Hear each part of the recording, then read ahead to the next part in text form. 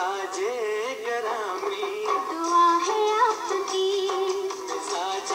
गरामी दुआ है आपकी।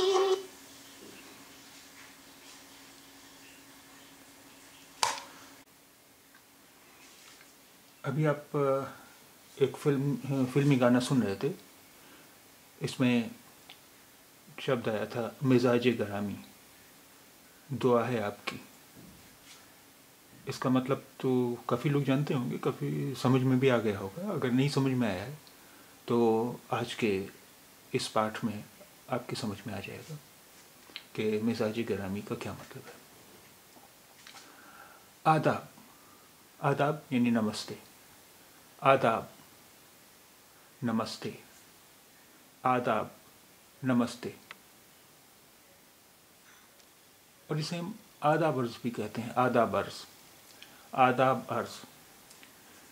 यानी आदाब अर्ज़। आदाब या आदाब अर्ज़, यानी नमस्ते। अभिवादन के लिए एक और शब्द इस्तेमाल होता है, अस्सलामु अलैकुम। अस्सलामु अलैकुम।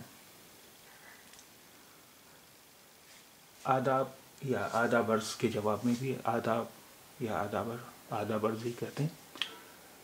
लेकिन अस्सलामु अलैकुम के जवाब में हम कहते हैं, वालेकुम अस्सलाम। अस्सलामु अलैकुम, इसके जवाब में कहेंगे वालेकुम अस्सलाम। ये भी एक सलाम करने का, अभिवादन करने का तरीका है। अस्सलामु अलैकुम का शाब्दिक अर्थ होता है, यानी ईश्वर की ईश्वर आपके जीवन में शांति बनाए रखे आपके जीवन में शांति रहे। सलाम का मतलब होता है शांति। आपके जीवन में शांति रहे। और जब हम कहते हैं, वालेकुम अस्सलाम तो और आप पर भी शांति हो, आपके जीवन में भी शांति बनी रहे। वह मैंने और। वालेकुम अस्सलाम। और आपके जीवन में भी शांति, आपके जीवन आपके जीवन में भी शांति बनी रहे। अस्सलाम वालेकुम वालेकुम अस्सलाम। लेकिन आदाब के जब, जवाब में आदाब आदाब अर्ज़ के जवाब में आदाब अर्ज़ हम कहते हैं। लेकिन अस्सलाम वालेकुम के जवाब में हम कहेंगे वालेकुम अस्सलाम। तस्लीम।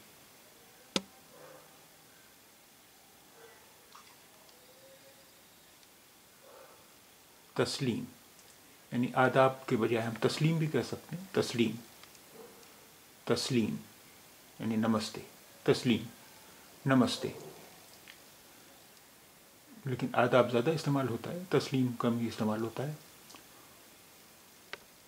जब हम किसी से विदा होते हैं, जैसे अलविदा कहते हैं, अलविदा कहने के लिए हम कहते हैं खुदा हाफिज़, यानी बाय बाय, खुदा हाफिज़, इसका शाब्दिक अर्थ तो हुआ, जैसे खुदा तुम्हारी रक्षा करे हाफिज़ मैंने हिफाजत करने वाला, खुदा तुम्हारी तुम्हारी हिफाजत करने वाला हो, खुदा तुम्हारी हिफाजत करे, खुदा हाफिज़, खुदा तुम्हारी रक्षा करे, खुदा हाफिज़। खुदा हाफिज़ के जगह हम अल्लाह हाफिज़ भी कह सकते हैं, अल्लाह तुम्हारी रक्षा करे, ईश्वर तुम्हारी रक्षा करे, अल्लाह हाफिज़। इसके बजाय है हम ये भी कह सकते हैं, फ़ी अमान यानी ईश्वर के संरक्षण में, यानी ईश्वर की हिफाजत में रहो, फ़ी अमान ईश्वर के संरक्षण में।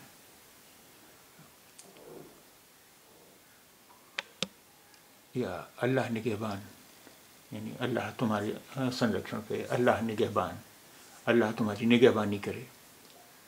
अल्लाह निगहबान तो ये सारे शब्द, खुदा हाफिज़, अल्लाह हाफिज़ फ़ी अमान अल्लाह निगहबान, ये सब हम जब किसी से विदा लेते हैं, उस समय कहते हैं, यानी जैसे अंग्रेज़ी में गुड बाय उसकी जगह हम कहते हैं, खुदा हाफिज़, अल्लाह हाफिज़ फ़ी अमान अल्लाह निगहबान।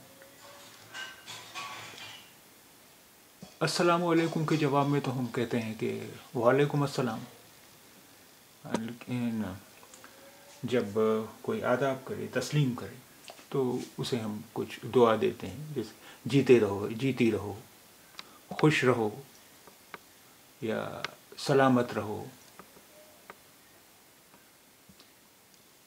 और किसी का हाल चाल पूछना हो हमें आप कैसे हैं, आपका क्या हाल चाल है? जैसे अंग्रेज़ी में कहते हैं हाउ आर यू इसके लिए शब्द है, मिजाज शरीफ।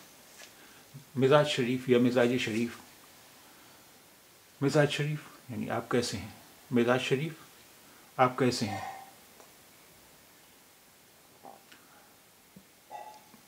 या मिजाज शरीफ की जगह हम ये भी कह सकते हैं, मिजाज गरामी, मिजाज गिरामी, जैसा कि अभी आपने गाने गाने में सुना।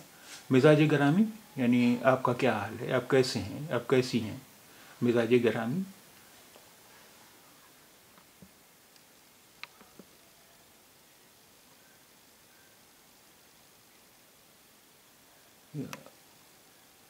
मिजाज गिरामी के बजाय हम मिजाज मुबारक भी कह सकते हैं। मिजाज मुबारक, यानी आप कैसे हैं? आप कैसी हैं? मिजाज मुबारक। या कह सकते हैं, आपका मिजाज कैसा है? आपका मिजाज कैसा है? इसके जवाब में हम क्या कहेंगे? यानी आपकी दुआ है। जैसा कि आपने सुना, मिजाज गिरामी दुआ है आपकी। आपकी दुआ है। या अल्लाह का शुक्र है, या खुदा का शुक्र है, या कह सकते हैं खुदा का करम है।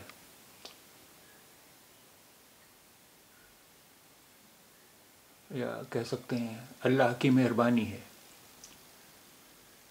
अल्लाह की मेहरबानी है। या ये भी कह सकते हैं कि अल्हम्दुलिल्लाह, यानी कोई आपका हाल चाल पूछ रहा है, आप कह सकते हैं, अल्हम्दुलिल्लाह। अल्हम्दुलिल्लाह का मतलब होता है, हर प्रकार की प्रशंसा अल्लाह के लिए है। अल्हम्दुलिल्लाह। हम तो मैंने प्रशंसा, ईश्वर की प्रशंसा। अल्हम्दुलिल्लाह, हर प्रकार की प्रशंसा अल्लाह के लिए है। यानी, जब कोई आपसे हाल चाल पूछे, आप ये भी कह सकते हैं, अल्हम्दुलिल्लाह। या ये कह सकते हैं, अल्लाह की मेहरबानी है, खुदा का करम है, अल्लाह का शुक्र है।